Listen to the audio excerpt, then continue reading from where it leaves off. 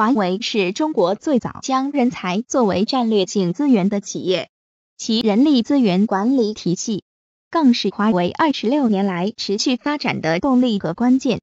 华为总裁任正非用“狼狈组织”“少将连长”等词汇，诠释华为在员工激励、组织建设、干部管理等方面的管理智慧，道出了华为管理的核心本质。任正非把华为公司里一些歪才、怪才比喻成歪瓜裂枣，即那些绩效不错，但在某些方面不遵从公司规章的人，尤其是一些技术专家，都有着特别的个性和习惯。任正非说，公司要宽容歪瓜裂枣的奇思异想。以前一说歪瓜裂枣，就把裂写成劣等的劣，你们搞错了。枣是裂的最甜，瓜是歪的最甜。他们虽然不被大家看好，但我们从战略眼光上看好这些人。今天我们重新看王国维、李鸿章，实际上他们就是历史的歪瓜裂枣。我们要理解这些歪瓜裂枣，并支持他们。他们可能超前了时代，令人不可理解。你怎么知道他们就不是这个时代的梵高？这个时代的贝多芬，未来的谷歌，如何合理的评价这些人，让这些呱呱裂枣真正发挥自己的价值，并获得与其贡献相符合的回报？华为管理优化中提出，作为管理者，要在公司价值观和导向的指引下，基于政策和制度，实事求是的去评价一个人。而不能僵化的去执行公司的规章制度，在价值分配方面要敢于为有缺点的奋斗者说话，要抓住贡献这个主要矛盾，不求全责备。任正非谈对正职与副职的能力与要求，相信对每个企业管理层来说都值得学习和思考。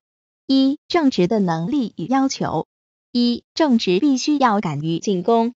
文质彬彬、温良恭俭让、事无巨细、眉毛胡子一把抓，而且越抓越细的人是不适合做正职的。二、正直必须清晰的理解公司的战略方向，对工作有周密的策划。三、有决心、有意志、有毅力，富于自我牺牲精神。四、能带领团队，不断的实现新的突破，这就是狼的标准。五、评价正直时，不一定要以战利品来评价，应对其关键事件过程行为中体现出的领袖色彩给予关注。二、副职的能力与要求：一、我认为副职至少要精于管理，大大咧咧的人不适合做副职。二、副职一定通过精细化管理，撕开口子后，要能精耕细作，守得住。具备正确的执行力来实施组织意图，这就是背的行为。三、机关部职的责任承担者要逐步的由具有成功实践经验的职业经理人来担任。三、能人要用到刀刃上。我们很多有能力的人都集中在机关，前方大项目的骨干太少，直接面对客户的铁三角力量很弱。机关这么多人，内控这么强，我们的作战能力并没有增强。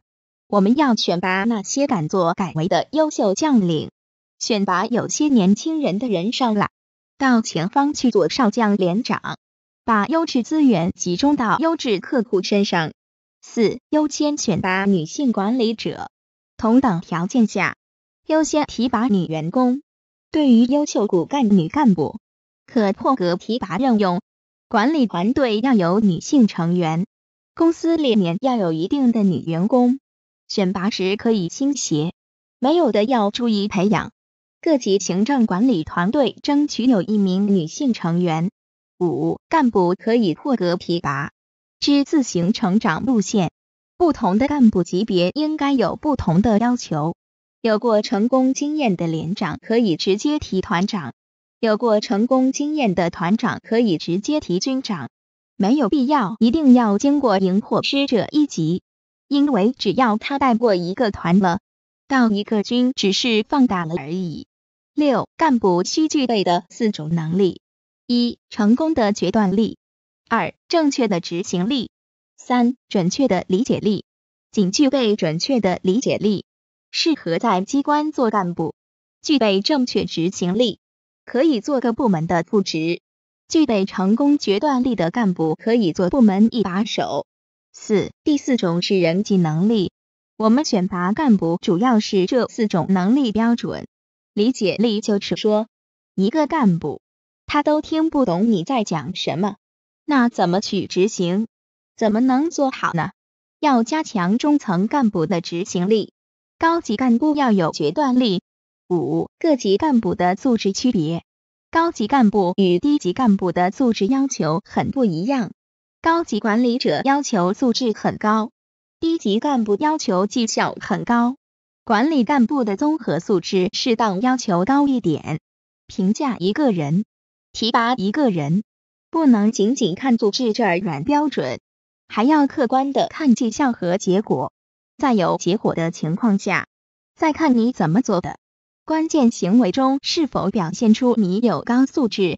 六、优秀管理者的视野，想做一个好的领导者、管理者，你要把阅读面视野展开，要看清行业的变化，才能规范好内部的行为。眼睛只看内部，忙着规范内部的行为。规范完了就被淘汰了，为什么？因为不适应未来的变化。所以我强调视野很重要，视野不完全来自经验，还要来自学习。七对事负责与对人负责，到底是实行对事负责制，还是对人负责制？一个是扩张体系，一个是收敛体系。为什么我们要强调以流程型？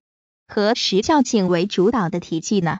现在流程上运作的干部，他们还习惯于事事都请示上级，这是错的。已经有规定或者成为惯例的东西，不必请示，应快速让他通过去。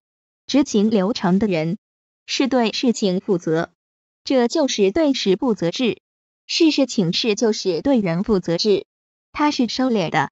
我们要简化不必要确认的东西，要减少在管理中不必要、不重要的环节，不要制造垃圾，否则公司怎么能高效运行呢？在中基层要重新修改我们的口号，要先学会做事，再学会做人。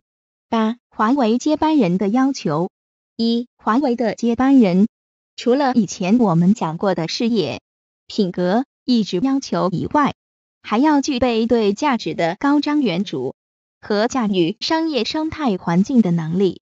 二、华为的接班人要具有全球市场格局的视野、交易、服务目标执行的能力。三、以及对新技术与客户需求的深刻理解，而且具有不固步自封的能力。四、华为的接班人还必须有端到端对公司巨大数量的业务流、物流。资金流等简化管理的能力。